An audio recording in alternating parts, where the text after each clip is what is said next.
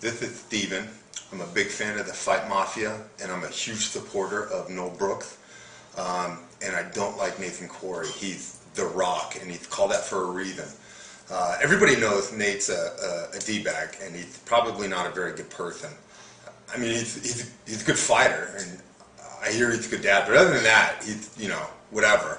And I'm tired of him um, slamming on what the Fight Muffins have been doing to support him.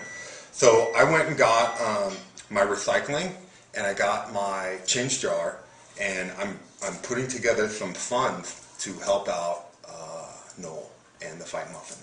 So far, I, I think I have about 38 cents, and um, so in just a matter of time, you know, we'll be able to to help uh, settle this issue for all. I was going to drive around when I was filming this, but um, I couldn't because I don't have a car, and uh, I couldn't I couldn't get a big gulp either. So I just made um, a special drink from the kitchen. My my throat broke. I can tell you firsthand what a d-bag uh, Nathan Nathan the Rock Quarry is because back in the day he was my paper boy.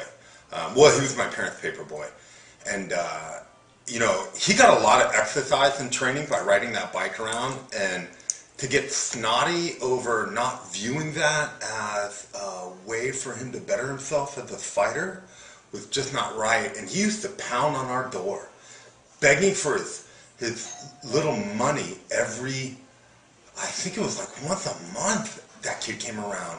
You know, where's my money? Where's, you gotta pay me. Instead of just looking at it as the way that he was building the, the legs of a future fighter. That's what he should have been doing, but he wasn't. He was just a D-bag, you know, complaining. I think he was like 12.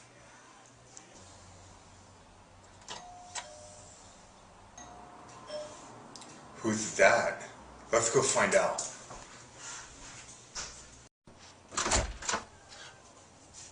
Nate. Four weeks, 20 papers. That's $2. Gee, Nate, I don't have a dime. Sorry. Didn't ask for a dime. $2. Plus tip. Uh, my little brother got his arm stuck in the microwave, so my mom had to take him to the hospital. Uh, my grandmother dropped acid this morning, and she freaked out. She hijacked a busload of penguins, so it's sort of a family crisis. Bye.